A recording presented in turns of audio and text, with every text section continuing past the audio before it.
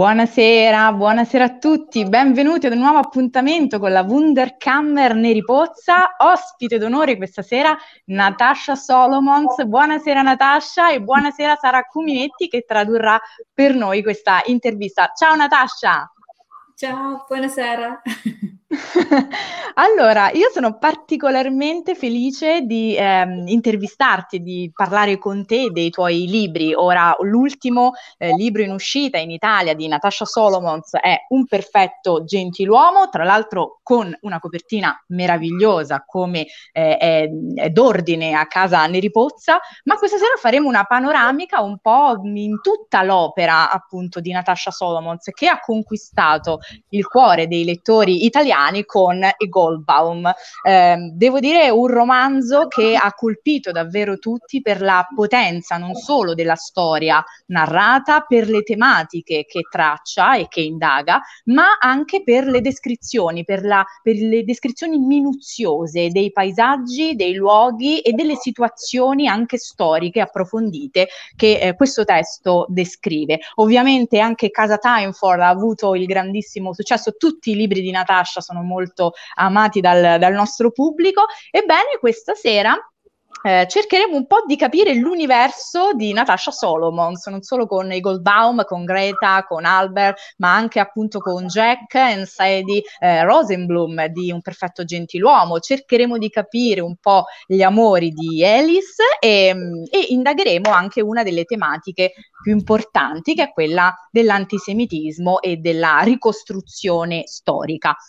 Natascia, la prima domanda che, che, ti faccio e che un po' forse eh, ci chiediamo tutti, perché queste storie così belle in un certo senso sembrano avere, mh, somigliarsi perché hanno dei punti in comune molto forti. Quindi da dove trai ispirazione per le tue storie eh, e perché così tanto interesse per epoche passate fondamentalmente. Si parla molto di prima guerra mondiale nei Goldbaum, di seconda eh, guerra mondiale, soprattutto in un perfetto eh, gentiluomo. È una passione o segui, come dire, un filo eh, diretto di tutto questo percorso letterario? So, Natasha, um, tonight we're going to be talking not just about your latest uh, it, uh, book in Italy by Neri Pozza, which has a wonderful cover, indeed, as Julia said, but we're going to be talking more in general about all your books, the three books that your Italian readers have loved so much, indeed. Uh, we love, of course, your descriptions, which are very detailed. We love the stories, and, you know, we love the historical element, of course, too. And so um, tonight we're going to be talking about all the Natasha um, the, the Natasha Solomon's universe, okay? And uh, um, we're going to be talking about Greta and Albert, uh, Sadie and Jack, Elise, and then we're also going to be touching uh, upon other subjects like anti-Semitism and uh, the historical element that is very important in your books. Now, my first question uh, concerns uh, something that I think many of us wonder about because uh, your books have something in common. They have some points in common that return book after book. There is this uh, focus, uh, this this love, this focus on the past and on history. So, for example, there's a First World War and then there's a Second World War. So, the question is, uh, where do you find inspiration? I mean, do, do you follow some kind of like um, specific uh, ideas, a specific reasoning, or is it just a passion of yours, maybe? I suppose that when I, I write, I write often to to escape. And when I want to escape, I want to escape further away. And so I, I like to escape into the past. And for me, that's that's the most beautiful journey. Allora, in realtà quando scrivo, eh, eh, io vivo la scrittura come una fuga e quindi quando voglio fuggire, voglio fuggire proprio lontano e quindi per fuggire lontano mi tuffo nel passato perché mi piace tantissimo. Devo dire eh. che è una cosa che condivido molto. I totally agree, she says. but the the specific inspiration comes from all different places and I'm I'm sort of drawn by different things at different times. So the book I've I've just finished that we're not discussing tonight um, was sort of inspired by art, and by painting. And so I spend a lot of time during the lockdown inspired by a specific painting and spending a huge amount of time just with one painting. So it's all so historical, but it's looking very much at art. And sometimes it's been with landscapes, but that often is the way into the story. All right. Mm, in realtà sono diverse le mie fonti di ispirazione, dipendono un po' dal momento, dipendono un po' dalla tematica. Um, ad esempio, il libro che ho appena ultimato, ma non è quello di cui parliamo questa sera perché appunto l'ho appena ultimato, eh, l'ho scritto in questa fase di lockdown e eh, si, si concentra in particolare sull'arte e nello specifico sulla pittura, su un quadro in particolare, per cui ho trascorso un sacco di tempo durante questo periodo di lockdown, ahimè, con questo quadro in particolare particolare. Per cui diciamo che in questo caso l'ispirazione è un mix di storia, di arte, poi magari c'è anche il paesaggio, diciamo, sono tanti gli elementi che contribuiscono e mi danno un po' come dire il là per poi raccontare la storia. Questo mi sembra molto interessante. È una, in sostanza già risposto alla domanda che arrivava dal pubblico, cioè che cosa sta facendo ora Natasha Solomons, quale altra storia ha, ha, in corso. Ma partiamo da uno dei romanzi che ti ha resa appunto più famosa in Italia, che è i Goldbaum. Tra l'altro anche qui copertina meravigliosa, ovviamente neripuzza. Um, dunque i Goldbaum, eh, poi indagheremo meglio le, le tematiche e soprattutto parleremo della protagonista Greta, ma quello che volevo chiederti rispetto ai Goldbaum è qual è stato il, la suggestione, diciamo così, il punto d'avvio eh, per realizzare eh, questa storia e anche che tipo di ricerca hai affrontato per ricostruire un'epoca comunque così lontana da noi, parliamo del 1911-1918. Well, actually, you have already answered one of the questions that I received from the audience, which was about what has Natasha been doing all this time, and you've you've been writing a book. That's wonderful. Okay, and that's good to know, by the way. Um, now, I would start with uh, what in Italian is called E Goldbaum, um, House of Gold, of course, uh, with a beautiful cover that you just saw, because of course it's one of uh, yet another beautiful cover, as you can see. So we'll be talking, of course, about the themes, about about Greta in a minute. But my question in this in this sense, the one I would like to start with is, which was the spark, which was the inspiration that led you to uh, this uh, to to to write this book, and not only that, but also what kind of research did you engage in? Because after all, that is some a point in time that is quite remo- removed from us because we're talking about 1911, 1918. Um, there was sort of the, the first piece of, of inspiration for House of House of Gold was a painting on the staircase in my parents' house in Dorset, a family portrait from the 1700s of a man with a bird called a golden oriole sitting on his desk. And this family portrait, I must have walked up um, past the stairs um, hundred, I don't know, a thousand times. And one day I looked at it properly and I asked my parents about it. And they said the gentleman in the portrait had been in the Frankfurt ghetto at the same time as the Rothschilds. I don't know if you want to translate that part first. Yes, absolutely. Um, allora, l'ispirazione, proprio diciamo, la, la, la, scintilla per la storia mi è arrivata da un quadro, un quadro diciamo di famiglia che stava là appeso in cima a una scala mm. che io salivo e scendevo di continuo e insomma vedevo questo quadro dove c'era eh, nella casa dei miei genitori nel Dorset, eh, c'era questo ritratto di famiglia di questo signore molto imponente, molto interessante, con ehm, che, che però io forse un po' liquidavo come una cosa che era lì e che non non mi, come dire, non mi diceva più di tanto, finché un giorno ho chiesto ai miei genitori, ma che cosa rappresenta quel quadro? E i miei genitori mi hanno detto, ma effettivamente rappresenta un tuavo che visse nel ghetto di Francoforte a, a due passi dai Rothschild.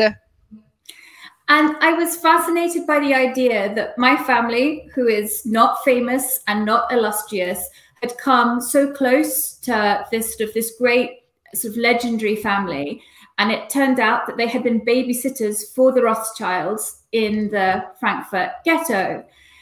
And I was intrigued by the idea of telling a story about a Jewish family where they're both powerful, immeasurably powerful and wealthy, But despite that, because they're Jewish, they're still not trusted.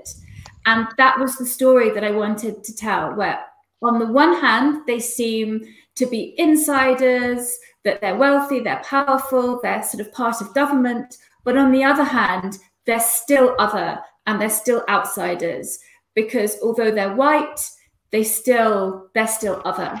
And that kind of story really fascinated me. Right.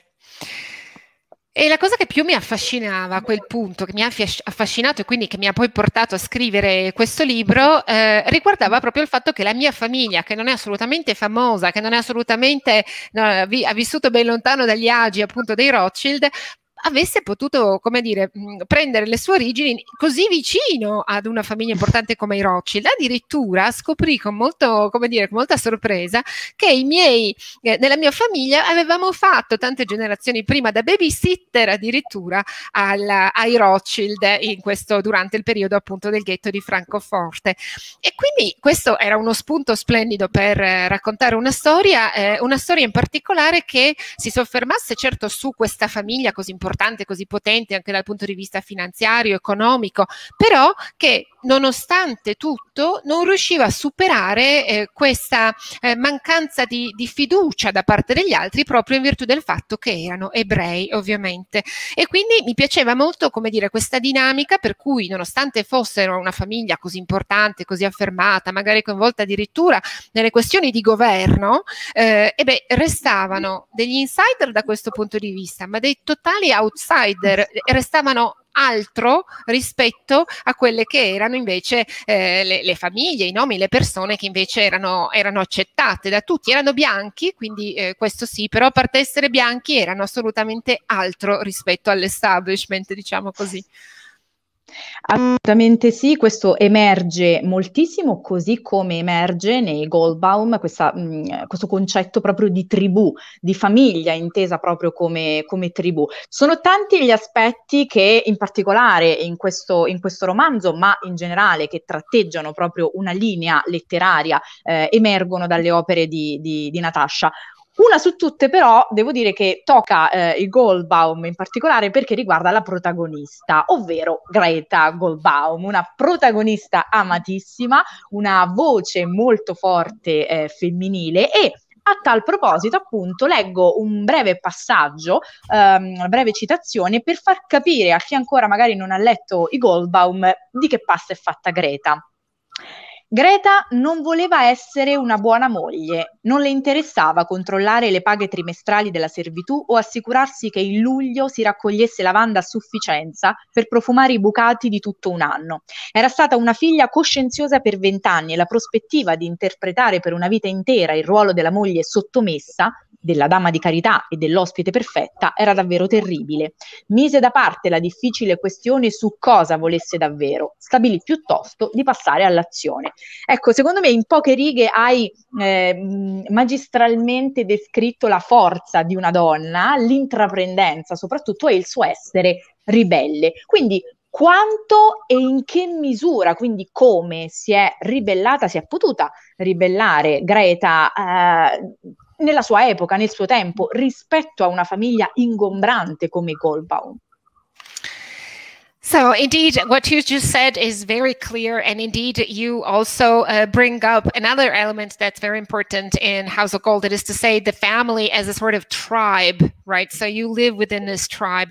Anyway, there are a number of aspects, uh, uh, a sort of fil rouge that we find in your books that characterize your uh, literary uh, narratives. And uh, um, however, there, there are some aspects that just stand out, some characters that just stand out. Like, of course, in House of Gold, Greta. Greta is an amazing character. Greta is uh, the one we love. We all love Greta very much. She is a very strong woman, very, very strong willed. And uh, indeed, uh, Julia read a passage about uh, an, ex- an excerpt from the book about Greta, where actually um, basically says Greta did not want to be a good wife. She was not interested in this and that. She just wanted to to do something. And so she thought at some point she thought, well, I will think about it another time. Now I better, you know, start acting, start doing something. So this passage is already very telling about Greta and what kind of person she is, of course. But uh, she's strong. She's also a bit rebellious, right? So uh, the question is, tell us about Greta. How much, to what extent was she successful in rebelling against what, all the constraints of society, of her family, the fact of living in such a, a, a an important and and uh, and burdensome family, if you will, because of course also she lived at a certain point in time, so it must not have been easy for her. So tell us about her. I mean, I how successful she is. I think that sort of depends how you sort of measure the criteria of success. Um, I think that initially all of the characters they they have different desires that Greta is struggling with her own sort of desires for what she wants and her own sense of needing to fulfill this idea of duty and duty is um, something that today we don't worry about. It's very unusual for us to worry about this concept of duty and my mother and my grandparents still believed in duty. You needed to, you had a sense of duty towards your parents, towards your family, towards um, an institution. And in the era where Greta lived, duty matters. And I think du- Greta is the first person in that family who says, What's the point of duty if we don't have happiness? That there's this sense that when she has children as well, does she want her children just to be dutiful or does she want them to have joy? Because duty without joy, well, what's the point then of living? And she feels that that grating against her. And I think even if she doesn't achieve it for herself, it's a question that she's seeding for the next generation.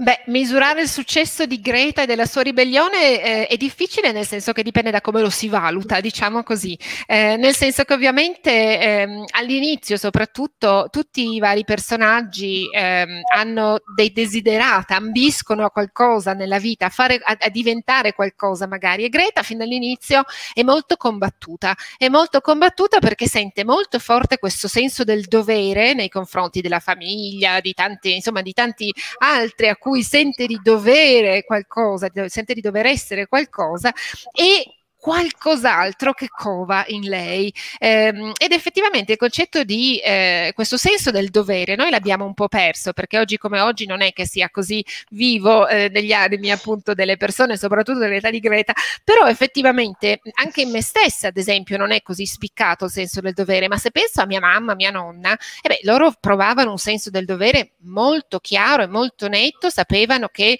eh, che avrebbero dovuto rispettare la loro famiglia certe istituzioni istituzioni, c'era insomma un atteggiamento mentale proprio diverso.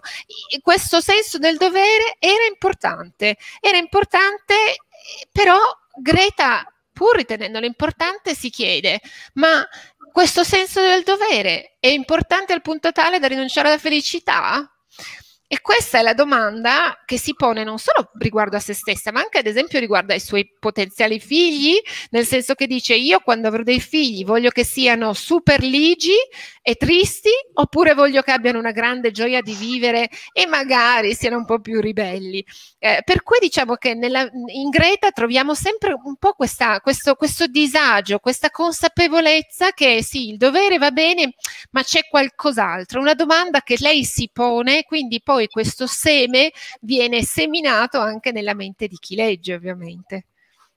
Giustamente, questa è una, ha, ha detto una cosa Natascia che um, mi sembra sia un po' uh, una cosa che ricorre poi nelle sue, nelle sue opere, no? cioè avere di fronte una condizione eh, di, di, dovere, di una, insomma anche dovuto a una situazione storica che si vive e poi c'è sempre, come dire, il, il personaggio combattuto, però è una situazione che, che si ripropone eh, più, a più riprese. Io adesso mi focalizzo eh, soprattutto sull'ultimo mh, da noi uscito, l'ultimo ultimo libro uscito da noi, appunto Un perfetto gentiluomo, di cui rimostro di nuovo la copertina, eh, uscito da poco proprio per eh, Neri Pozza, e in questo caso parliamo di un libro molto diverso, secondo me, dai Goldbaum per atmosfera, ma più che altro proprio per eh, procedimento, no? Quindi non abbiamo dei sobbalzi particolari eh, come ce li abbiamo nei Goldbaum, dovuto anche alla, dire, ad una situazione economica eh, molto, molto diversa che si vive.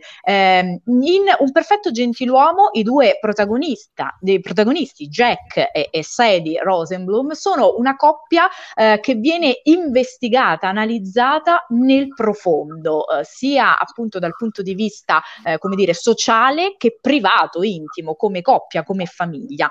E a, in questo libro ehm, emerge una appunto delle tematiche che riguardano proprio l'opera di, eh, di Natasha, eh, ovvero l'antisemitismo. Innanzitutto le chiedo se eh, c'erano già tracce di antisemitismo nel primo conflitto mondiale. E, ehm, e poi faremo un paio di citazioni appunto da un perfetto gentiluomo, visto che la questione dell'antisemitismo qui è molto radicata, e poi faremo anche la seconda domanda. Intanto prego, Sara.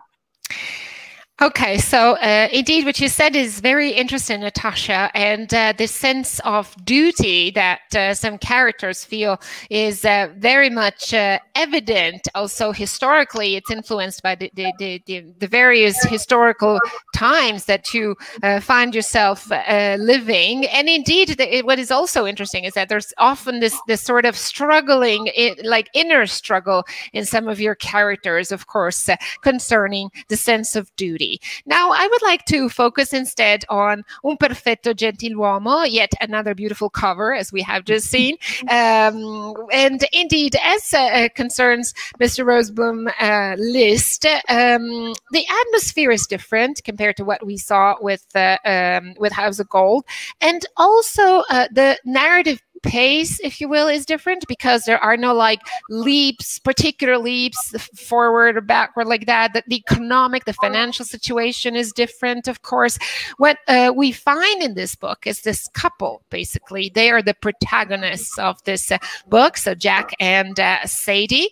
And um, what we do throughout the book is sort of investigate uh, socially and privately, if you will, their life, their life also as a couple, their life as a family. However, uh, there's also one important theme that is very much uh, there in this book, that is to say, anti Semitism. So, my question in this case would be um, Was this uh, anti Semitism already there in World War One?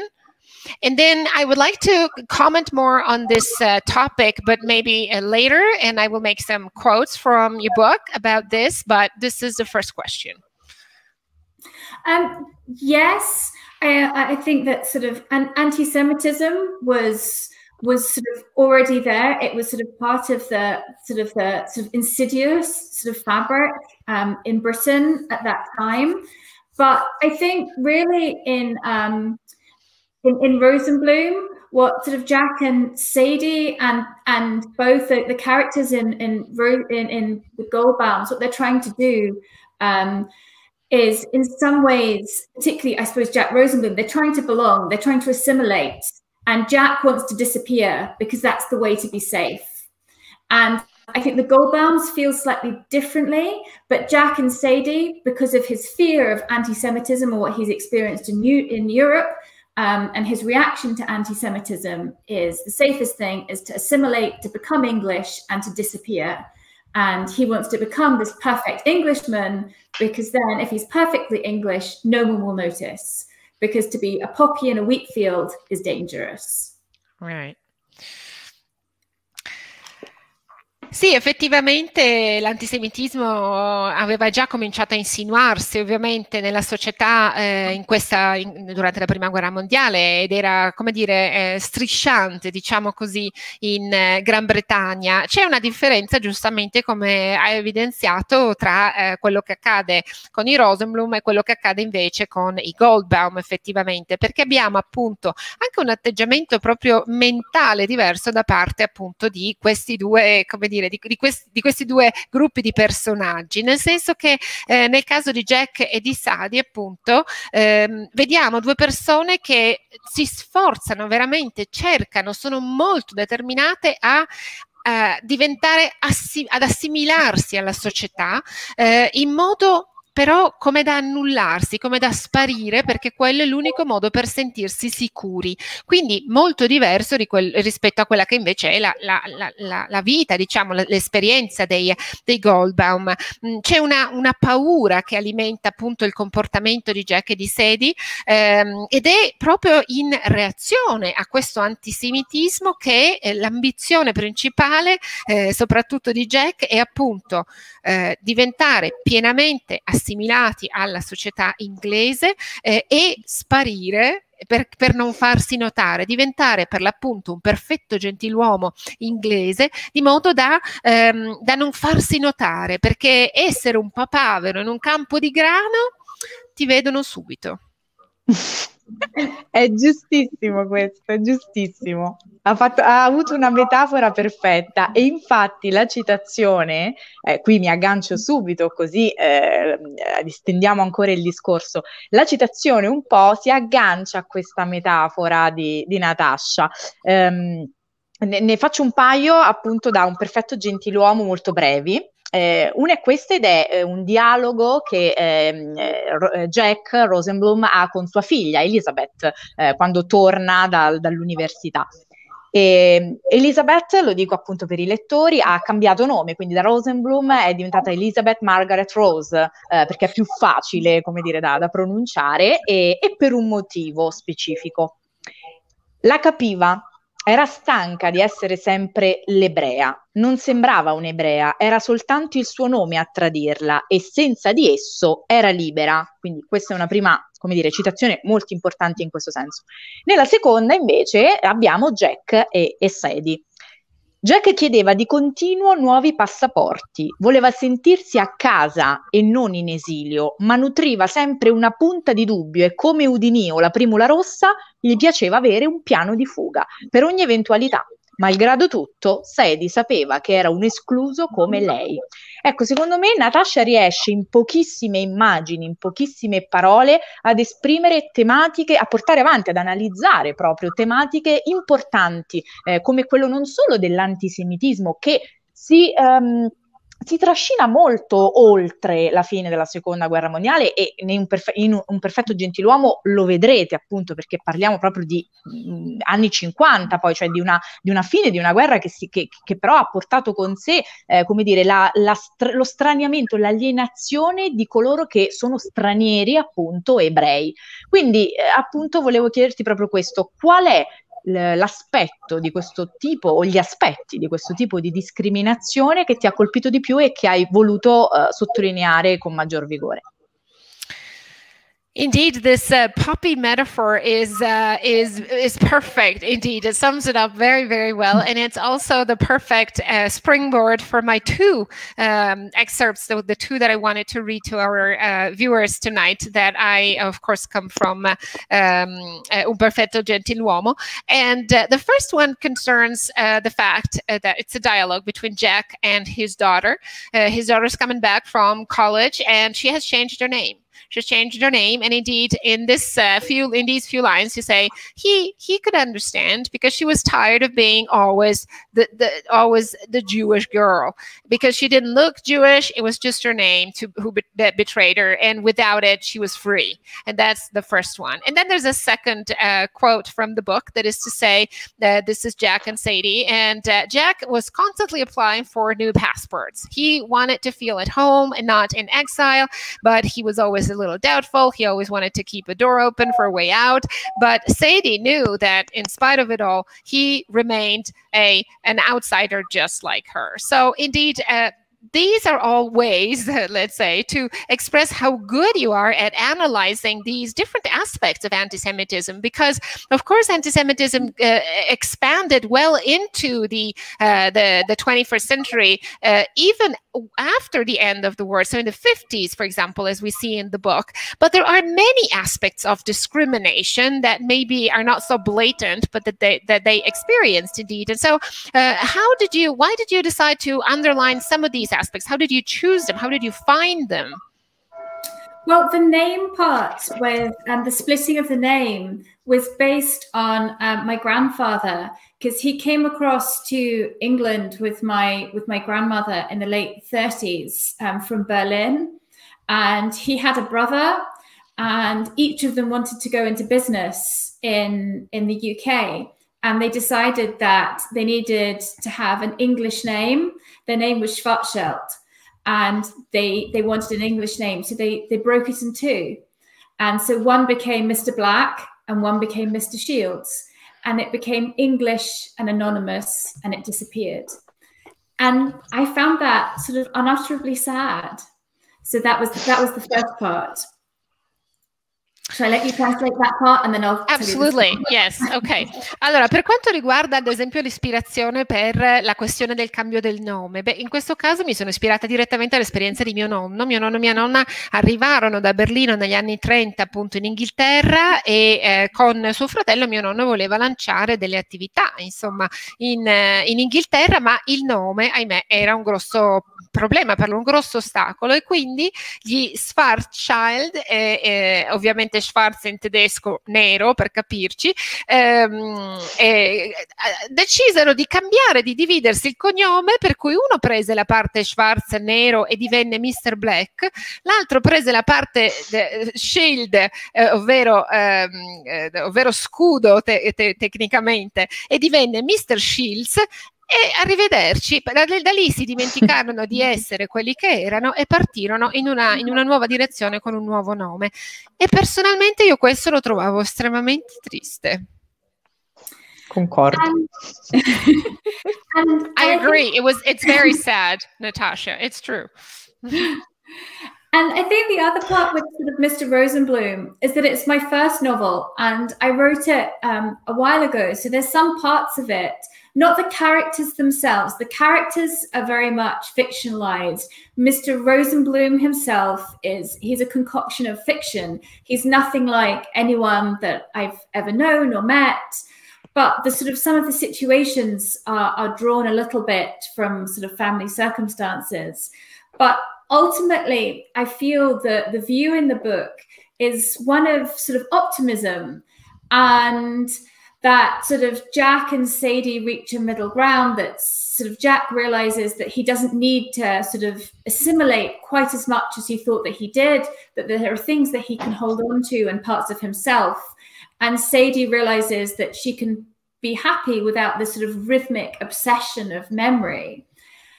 But what I find so sad thinking about the book now is that I wrote the book 10 years ago and it expresses an optimism that at this moment in Europe, in the UK right now, I don't feel.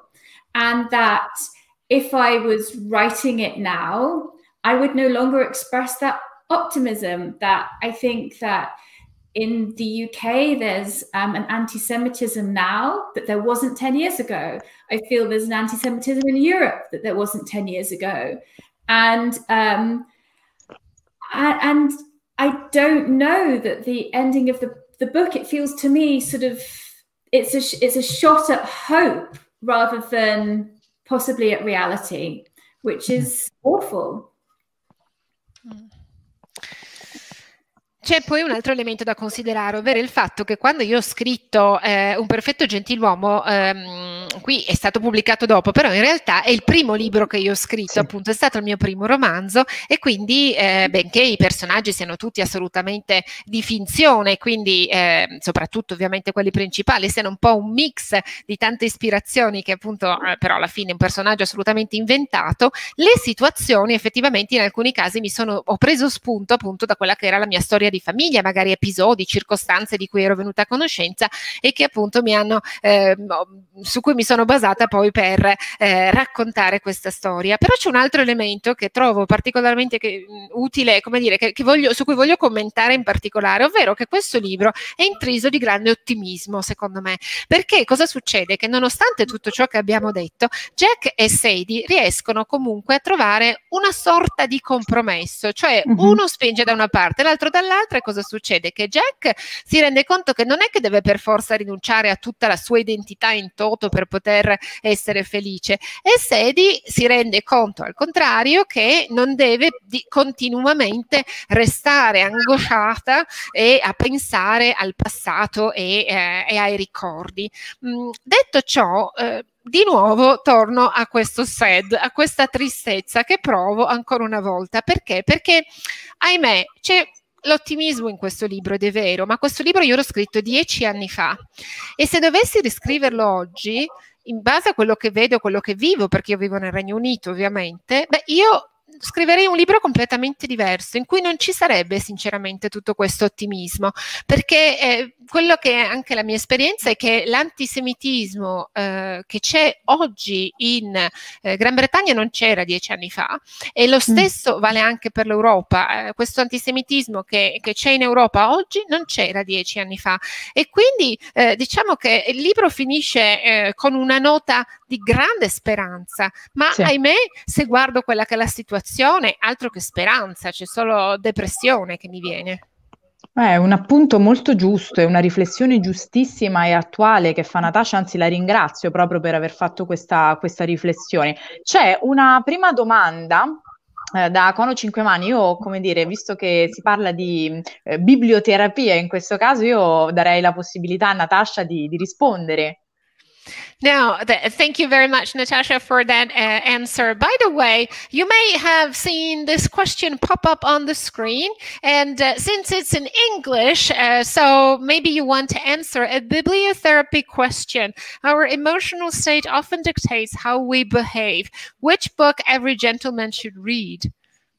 So which, which, which should should it has to be Pride and Prejudice, surely. Uh-huh. Every every gentleman needs to read Pride and Prejudice to see to see the correct manners and how to. Um, I think it will instill also a sense of calm and. Um, if you if you read if you read Pride and Prejudice, then surely you'll know the the right. Elizabeth Bennet will see you right. Beh, che domanda. Orgoglio e pregiudizio. Orgoglio e pregiudizio impari tutto, impari le buone maniere. Elizabeth Bennet ti insegna tutto, a mantenere la calma, cosa fare e cosa non fare. Sono perfettamente d'accordo con Natasha. Scusami, stavo bevendo. I totally agree with you, Natasha. Absolutely. Io mi trovo incredibilmente d'accordo con Natasha. Sarà che ho amato i suoi libri, molto probabilmente per questo, chi può dirlo? Ma um, allora io faccio una domanda legata a, Jack e Sadie e quello che ha appunto detto alla fine eh, Natasha, che mi ha colpito molto soprattutto dalla parte di Sadie, che nel libro, in un perfetto gentiluomo, è molto ancorata alla vita di prima, cioè questo spartiacque eh, segnato dal passaggio da, uh, dalla loro Berlino, diciamo così, dalla loro amata Berlino, Germania, all'Inghilterra, cosa che però capita anche in casa Timeford e nei Goldbaum, parlando di Vienna in quel caso, quindi si lascia la Vienna per andare eh, in un territorio sconosciuto come l'Inghilterra, non amatissimo. Eh, eh, Alice in Casa Timeford lo dice proprio, sono sicura che è una terra che non amerò, dice eh, all'inizio. Quanta sofferenza c'è in questi eh, cambiamenti eh, che, che, gioco forza poi devono avvenire eh, per gioco di forza maggiore nel caso proprio di, di, Jack e Sadie e quanto soffre una donna come Sadie che sì c'è tanto ottimismo in questo libro ma Sadie è colei anche che ritiene che sia giusto soffrire mh, proprio perché la famiglia che invece è rimasta a Berlino eh, non ha avuto la stessa fortuna che hanno avuto loro quando si sono trasferiti. Indeed, I agree with you. I agree with you on almost everything you said, basically. And maybe that's also why I love your book so much, Natasha. so, um, Jack and uh, Sadie. Well, uh, I would focus on Sadie for a second here because indeed she, as you, you mentioned this very, uh, you touched upon this in your answer a second ago. So Sadie is very much uh, longing for the life of before, right? The life that was. And uh, um, at some point, there is something, I mean, there is this event, there is this watershed moment in their lives. They have to leave Berlin to reach the UK, indeed. And it's pretty much the same kind of breaking, you know, moment in the lives of all your protagonists that we also see in House of Gold when they have to leave Vienna, and that's one thing. And then we see Elise, who actually in um, the House of uh, Tyneford actually says, "I'm going to hate it. I'm not going to love it at all." There, living there. So, of course, um, I would like to ask you, let's say, one slash two questions about this. That is to say, uh, these changes these are changes that create suffering for the characters because indeed it's a it's a moment where where lives lives have to change the changes have to take place but it's painful of course. And uh, also how painful is this for someone like sadie? Because sadie indeed is um, she she even feels that it's it's it's right to feel the pain because she has very much in her mind what has remained very much alive in her mind is that part of her family couldn't follow. Part of her family remained behind and is gone. Yeah i, th- I think that sort of sadie is sort of stuck on loss and rehearsing that loss and um, sort of through the sort of symbolism of this Baumtorte cake that becomes this kind of symbol of memory where she bakes it again and again and again and one layer for every person who she's who she's lost and who has died. And until she is able really to kind of form new friendships and really form a bond with England and the English countryside and new people and to learn that it's okay to remember but also it's okay to let go and um, to forget a little bit in order to allow back some joy. She can't. She's she's sort of paralyzed really by by grief. Right. Sì, in effetti per quanto riguarda Sadie, Sadie è praticamente prigioniera della perdita. Una, una, perdita che eh, si riassume un po' in questo dolce, questa Baumtorte che lei eh, prepara, in cui mette uno strato per ognuna delle persone che ha perso. E, ehm, e, quindi fatica molto perché questa, questo senso di perdita per lei è molto molto presente, molto eh, quasi ossessivo appunto finché, finché eh, scopre delle nuove amicizie, conosce le nuove persone nella, nella campagna appunto eh, inglese e qui comincia a capire che se è giusto ricordare è anche giusto ehm, permettersi poi di eh, essere felici, permettersi in qualche modo di, ehm, di, di, di, prendere un po' di distanza, diciamo, di lasciare che, di, andare avanti nella vita, non dimenticare, però insomma appunto di riuscire a essere, a provare di nuovo questa gioia invece di passare la propria vita in sostanza in lutto per ciò che è stato perso. Questo è un aspetto che mi è molto piaciuto di un perfetto gentiluomo, perché eh, Natasha lo sottolinea più volte e però eh, traccia un percorso proprio ehm, in cui da un'iniziale situazione di stallo, di, di, di, grande difficoltà, di ostacolo proprio emotivo, poi a mano a mano si intuisce un percorso lento e, e un'evoluzione costante, però verso il cambiamento. Quindi, insomma, è un libro che consiglio anche proprio per questo motivo. Però volevo spostarmi un momento uh, sulla questione degli amori e delle coppie. Eh, tante sono le coppie e gli amori che troviamo nei Goldbaum, in Casa Timeford, in Un perfetto gentiluomo, ma vorrei che Natasha ce li illustrasse perché sono molto diversi fra loro. Greta e Albert, Jack and Sadie, gli amori di, di Alice in Casa Timeford. Indeed, this aspect is very much um, it's very much there, and it's something that uh, you can really notice in your books, and uh, you stress over and over again how there is this sort of you're stuck, emotionally stuck, but then little by little there is this evolution, and you change. Indeed, it's a slow process, but indeed something is uh, is starts to move at some point, and this is very much there. Now, I would like to move on to something else that's ve- very much there in your books as well. That is to say love and love stories because indeed all your books. So uh, the rosenblum's list uh, uh, or uh, house of gold or the house of tyneford they all have love stories and couples and love but love takes many forms in these different uh, couples. So there's jack and sadie but then there's also albert and greta and then there's elise and all her loves plural. So maybe you can tell us something about the all these loves Um, I think that sort of each of them was sort of I approached differently. Um, I mean, Jack and Sadie is really about uh, it's a married couple where they've very much sort of disconnected and is a story of reconnection. And I think so Mr. Rosenblum is definitely my most sort of optimistic and joyful story. It's it's I think there's an exuberance to it. And it's although there's definite notes of sadness. I think in the sort of the relationship, it's very much a story of a kind of a middle-aged couple um, finding their way back to one another as they sort of as they as they reconnect in this new world and this new landscape. Um, is that enough to translate? Absolutely. Eh, beh, diciamo che sono, mh, mm, ho, avuto, ho adottato un approccio diverso nei confronti di questi, questi diversi appunto rapporti d'amore.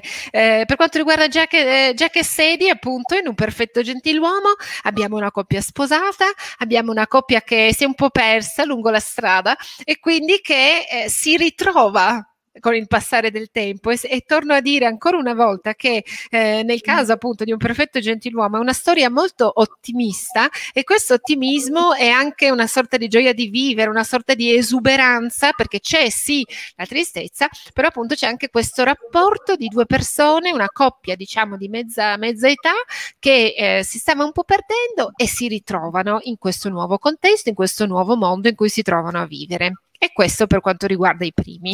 Okay.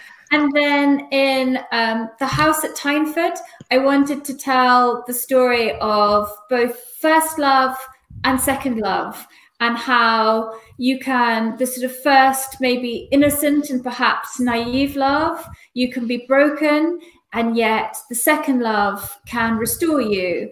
And I wanted to write about the love between sort of fathers and sons, and also to have a love that's slightly transgressive I, I thought that was that was interesting as well. And poi invece per sorry, so we, we, we divide them up into the yeah. eh, per quanto riguarda appunto Casa Tyneford invece abbiamo Elise che appunto ha in questo caso volevo soffermarmi su quello che succede con il primo amore e poi con il secondo amore. Il primo amore che uno vive magari con l'innocenza appunto del primo amore, mh, mm, quando, quasi un po' l'ingenuità se vogliamo, eh, ti prendi una bella botta e poi però arriva il secondo amore che ti ridà un po' di fiducia fiducia appunto nell'amore per l'appunto. Però volevo anche parlare di altri tipi di amore, come ad esempio l'amore tra padri e figli e anche magari un amore un po' più trasgressivo, se vogliamo. Mm-hmm. And then in House of Gold, I wanted to write a love story in reverse where we start with a marriage and where the couple sort of despise each other, and then we'll wait and see if love comes. And then the novel that I was working on most recently, I think that's probably the most unusual love story I've written so far. And um, you'll have to wait and see for that one. But that's definitely very unusual. Mm. E ehm, per quanto riguarda invece i Goldbaum, beh, in questo caso io mi sono riproposta proprio di scrivere una love story al contrario, quindi due che si sposano e non si possono proprio sopportare e poi un po' alla volta, insomma, comincia a nascere appunto una simpatia che poi evolve, l'amore arriva in seconda battuta. Detto ciò, spoiler, eh, perché nel libro che ho appunto appena ultimato eh, c'è una storia d'amore assolutamente fuori dalle righe, in attesa, per cui non vi posso dire di più, però veramente quest'ultima va, parte per la tangente rispetto al passato. Natascia, non puoi fare una cosa del genere. non puoi. Natasha, you cannot, you cannot tell us this little bit and then that's it. No, no, we gotta wait. No, no, no, no, no, no, no, questa non gliela perdoniamo a Natascia. No, Ma... Ultimissima battuta perché è rimasto poco tempo. Mm, volevo chiedere, visto che si parla molto di nuclei familiari, di famiglie, appunto, di padri, figli e rapporti interpersonali, che cos'è per Natasha Solomons la famiglia? Che cosa rappresenta? È un luogo sicuro o un luogo in cui i nemici possono trovarsi, possono essere scovati? Very lastly, because we are reaching the end, of course, of this wonderful hour together, there's one more question that concerns another aspect that comes up in your books. That is to say, family and and the role of one's family. Because um, so you have depicted different families, indeed. So I'm asking you, what does family mean to you? Because it can be uh, like a safe harbor, but it can also be indeed um, insidious, and there can be enemies somewhere in your family. So, what's a family to you? Um, you're asking me this in the middle of homeschooling. It's not safe harbor right now. Me lo chiedi e io devo fare, io faccio scuola a casa ai bambini e tu mi fai una domanda così e ti devo rispondere? Per forza. You have to. Sorry, Natasha, you have to. um, I mean, yes, family is the source of of of of everything. So it's it's great um, creative um, energy to find stories everywhere. Sort of looking looking in in family. I often sort of find that I I don't realize that I'm writing about family, but family comes in so many forms, even if it's not the family that you're that you're born with, but the sort of the frictions between families and the sort of the archetypes of families are are so so fascinating when you start to sort of sort of pull them apart and um, they become quite Shakespearean when you when you look at them. Right. Che dire? Beh, la famiglia è una fonte inesauribile di ispirazione, questo sì, perché ci sono così tante storie che uno riesce a cogliere perché la famiglia è come fosse un'energia creativa che si dipana e quindi tu riesci a cogliere appunto tante, eh, tante vicende, tanti aspetti e anche le tante forme che può assumere una famiglia e ehm, magari una famiglia che non è la famiglia in cui sei nato, oppure magari una famiglia dove ci sono tante tensioni all'interno, eh, una famiglia che magari è l'architetto archetipo della famiglia di un certo tipo che quindi ti fa piacere, prendi quello stereotipo e poi lo smonti pezzo per pezzo, no? E, e a volte ci sono appunto dei drammi che arrivano a sfiorare lo shakespeariano, per cui è un'ottima fonte di ispirazione la famiglia. Sono Ma... convintissima di questo perché da persona che ha scritto anche di famiglie, devo dire che è una, è una risposta molto diplomatica. Natasha, it's a very diplomatic but very on point answer on, on your part. And also, just so you know, Julia has written about families too, so she knows what she's talking about. Yes the, the, the, the, novel that I'm trying to write at the moment, I have my, my five year old daughter, and her desk is next to mine. So as I'm writing and I'm I'm trying to concentrate, she's her head is there, and she says, "Mummy, mummy, is is button a noun or a verb? Mummy, mummy, I need a drink. Mummy, mummy, something itches." so it's kind of too much family. E avete appena assistito a una crisi di nervi di Natasha Solomons che, che si lamenta di sua figlia. Allora riprendiamo, ritorniamo seria.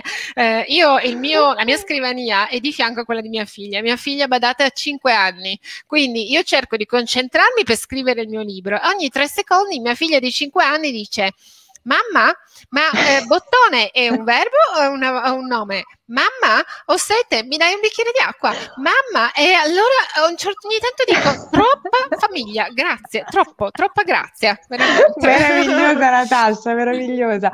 Eh, chiedono proprio dagli amici di Neri Pozza se ci può dire Natascia qual è il quadro di cui scrive nel suo prossimo romanzo. So Natasha, uh, very lastly, a question that you see on the screen from Neri Pozza that is to say, can you tell us which painting you'll be talking about in your next novel. At least give us a hint. Please, Natasha, please. Um, it's the Mona Lisa. Oh, oh, non lo traduco okay. neanche questo. No, la Mona Lisa. Sara. Non tradurlo esatto. perché credo, credo, che sia chiaro okay. a tutti quanti. Very clear, even in English. Io sono molto contenta di aver potuto chiacchierare con Natasha, saremmo state qui altre ore, questo è chiaro perché eh, parlare delle sue opere, come dire, innesca poi tante bellissime riflessioni e credo che eh, insomma è un pensiero condiviso da parte dei lettori che l'hanno premiata e continuano a premiare premiarla, quindi io non posso che rinnovare l'invito a, a, a, a leggere Un perfetto gentiluomo, che appunto è l'ultimo tradotto in Italia da Neri Pozza, di cui abbiamo una, una, copia bellissima sia io che Sara. E niente, io ringrazio assolutamente Natascia per questo intervento. Sono molto, eh, ripeto, felice di aver chiacchierato con lei perché si evince anche il modo in cui affronta eh, le tematiche e il modo in cui le sviluppa. C'è anche eh, una capacità descrittiva in tutti i suoi libri, questo lo dico appunto per i lettori che non hanno ancora avuto modo di leggere le sue opere, molto eh, de- delle descrizioni molto minuziose che ti portano e ti calano nelle atmosfere insieme ai personaggi. Quindi Natascia davvero complimenti. Natasha, it's been great, really a, a, great privilege to be with you for the past hour. Of course, if I had, if I didn't have any time constraints, I would go on and on for hours on end because there's so much that I would like to ask you about that we could talk about. And uh, I think that it was very interesting to reflect on all these aspects of your work. And indeed, there are many things that came up that I think are also uh, evidence of why so many readers like me love you and love your work very much. So, Natasha, really thank you so much for being with us. And indeed, um, I hope that uh, uh, we were able to explain why we like your book so much, and also something that maybe uh, we didn't, we haven't stressed enough. That is to say, if you haven't read Natasha's books, uh, they are full of very detailed descriptions that really have the capacity to just put you in a place, in a particular place. You can just see it, you can feel it. So that is really an amazing talent that you have. So thank you very much for uh, being with us tonight, Natasha. Oh, thank, you. it was a pleasure. Grazie mille, è stato un piacere. Ovviamente non lo traduciamo. Grazie mille anche a te Sara e grazie ovviamente a Neri Pozza che ci ha dato questa meravigliosa opportunità e grazie ovviamente a tutti i lettori che continuano eh, a premiare Natasha Solomons. Un perfetto gentiluomo, ma per chi ancora non avesse recuperato i Goldbaum e Casa Timeford, ovviamente editi da Neri Pozza, invitiamo ovviamente alla lettura e magari che che po- potremmo in futuro avere un incontro non virtuale con Natasha. Yeah. It would be nice to see you in the future in the flesh, not online, yeah. but who knows? Maybe sometime in the future. Let's stay optimistic. yeah. Grazie, grazie a tutti.